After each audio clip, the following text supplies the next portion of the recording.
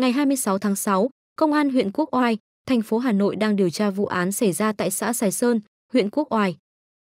Theo lãnh đạo Ủy ban nhân dân xã Sài Sơn, vụ việc xảy ra tối 25 tháng 6 tại thôn Đa Phúc, xã Sài Sơn. Một người đàn ông đã bị bắt sau khi có hành vi chém bố và anh trai. Người bố được đưa đi cấp cứu trong tình trạng nguy kịch, còn người anh trai bị thương tích nặng. Vị lãnh đạo này cho biết, bước đầu nhà chức trách nhận định nguyên nhân vụ việc là mâu thuẫn gia đình. Nghi phạm không nằm trong diện phải theo dõi vì nghiện ma túy hay tâm thần. Tối cùng ngày, mạng xã hội lan truyền clip ghi cảnh một người đàn ông cởi trần, cầm con dao quắm chém bố và anh trai. Dù hai nạn nhân đã ngã ra đường và không còn phản kháng, nghi phạm vẫn chém thêm nhiều nhát trước khi bỏ đi. Nghi phạm gây ra vụ án Dương Đình Luyện, sinh năm 1985, trú tại khu dân cư Mật Sơn, Chí Linh, thành phố Chí Linh, Hải Dương. Sáng ngày 24 tháng 6, thông tin từ đại diện chính quyền phường Văn An, thành phố Chí Linh, tỉnh Hải Dương cho biết, địa phương đang phối hợp với gia đình tổ chức lo hậu sự cho nạn nhân của vụ án mạng xảy ra trên địa bàn.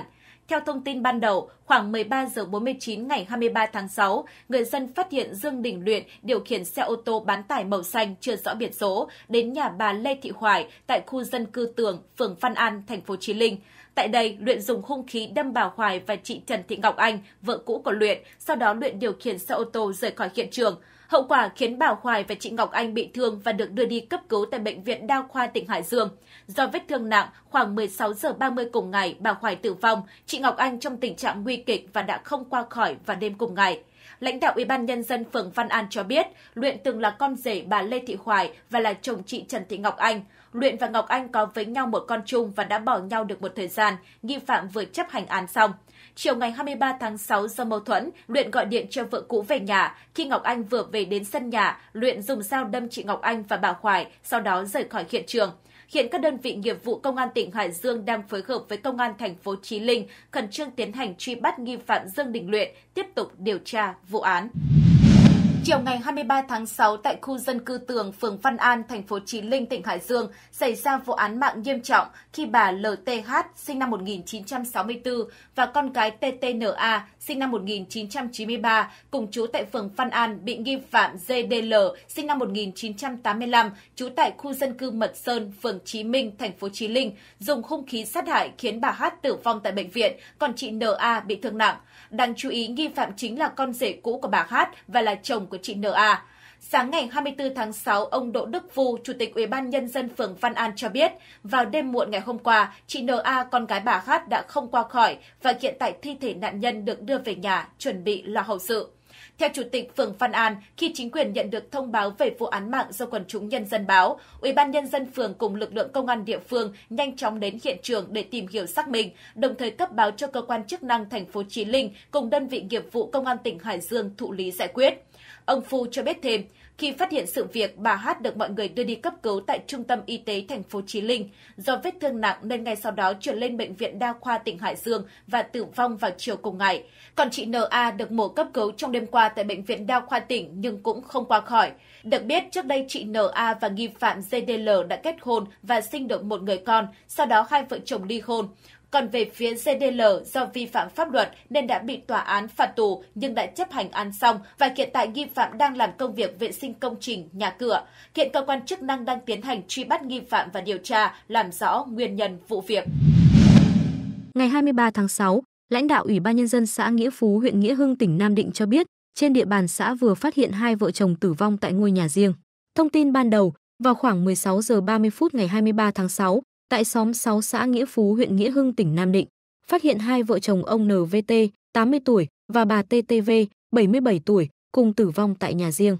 Lãnh đạo Ủy ban Nhân dân xã Nghĩa Phú cho biết thêm, theo báo cáo sơ bộ, khoảng 1 đến 2 hôm nay hàng xóm không thấy hai ông bà T và V ra ngoài, nhà thì đóng cửa.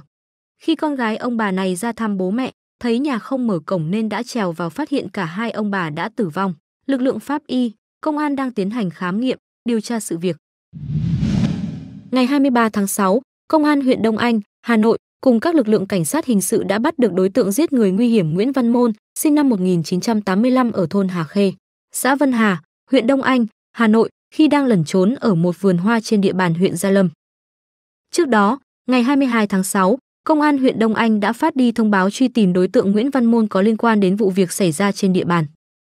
Theo cơ quan công an, đối tượng môn thường đi nhặt phế liệu khắp xã và các xã lân cận dáng người bình thường, đi hơi gù, chân trái có tật, đi hơi lết, cao khoảng 1m65. Liên quan đến vụ việc, ngày 21 tháng 6, tại thôn Hà Khê, xã Vân Hà, huyện Đông Anh đã xảy ra vụ án mạng nghiêm trọng trên địa bàn. Nạn nhân là một nữ giới gọi đối tượng môn là cậu ruột. Thông tin bạn đầu, khoảng 19 giờ tối cùng ngày, mẹ của nạn nhân đến nhà môn tìm con gái nhưng thấy khóa cửa nên đã vào bên trong để tìm thì phát hiện nạn nhân tử vong.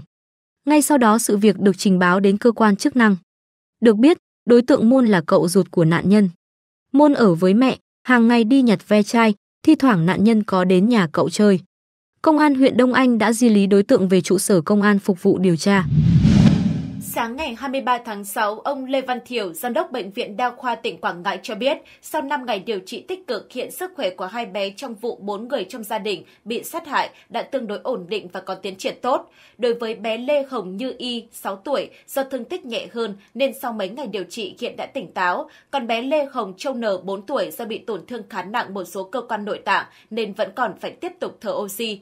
Các bé đã tỉnh táo và đang hồi phục khá tốt, đang được các y bác sĩ theo dõi chặt chẽ và tích cực chăm sóc. Ông Thiều nói, Trước đó, như đã thông tin, lúc 6 giờ sáng ngày 19 tháng 6, nghi phạm Lê Đình Thuyết, 57 tuổi, quê xã Nghĩa Dõng, thành phố Quảng Ngãi, nơi ở hiện nay là xã Nghĩa Thành, huyện Châu Đức, tỉnh Bà Rịa Vũng Tàu, đã xông vào nhà anh Lê Hồng Tài, 45 tuổi, và chị Phạm Thị Phương, 42 tuổi, đâm chém hàng chục nhát dao, khiến hai vợ chồng anh Tài tử vong. Nghi phạm Thuyết cũng đâm nhiều nhát vào người hai cháu Lê Hồng Như Y và Lê Hồng Châu Nở, con trai của anh Tài và chị Phương, khiến hai cháu bị thương nặng. Tại cơ quan công an, nghi phạm Lê Đình Thuyết khai đã theo gia đình chuyển vào tỉnh Bà Rịa Vũng Tàu từ nhỏ, bản thân không mâu thuẫn trực tiếp với gia đình anh Tài.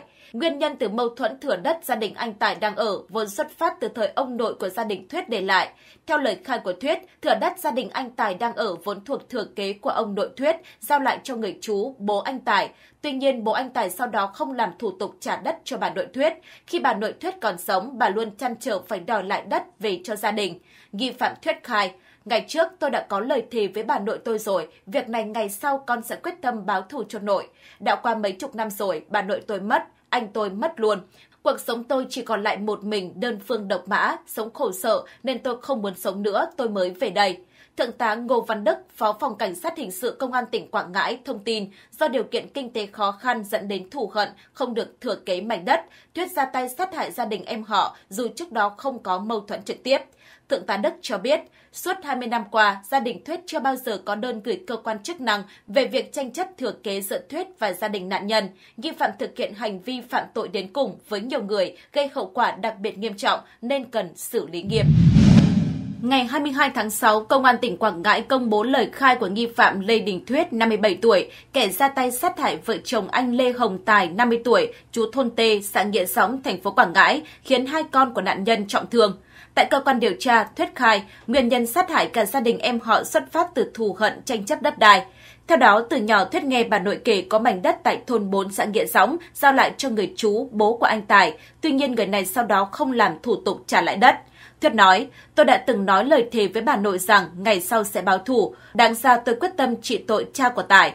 Ngày 18 tháng 6, Thuyết từ Bà Rịa Vũng Tàu về quê nhà ở Quảng Ngãi khoảng 700 km, sau đó lẻn vào vườn nhà anh Tài chờ thời cơ trả thù. Sáng hôm sau 19 tháng 6, khi chủ nhà thức dậy, Thuyết đâm vợ chồng anh Tài và hai con gái. Vợ chồng anh Tài tử vong, hai cháu nhỏ bị thương nặng may mắn được cứu chữa kịp thời, hiện đã qua cơn nguy kịch.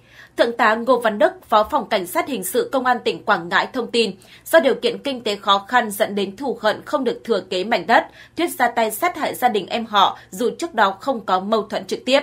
Thượng tá Đức cũng cho biết, suốt 20 năm qua chưa bao giờ có đơn gửi cơ quan chức năng về việc tranh chấp thừa kế giữa Thuyết và gia đình nạn nhân. Nghi phạm thực hiện hành vi phạm tội đến cùng với nhiều người, gây hậu quả đặc biệt nghiêm trọng nên cần xử lý nghiêm. Cơ quan chức năng đang hoàn tất hồ sơ để xử lý vụ án theo quy định.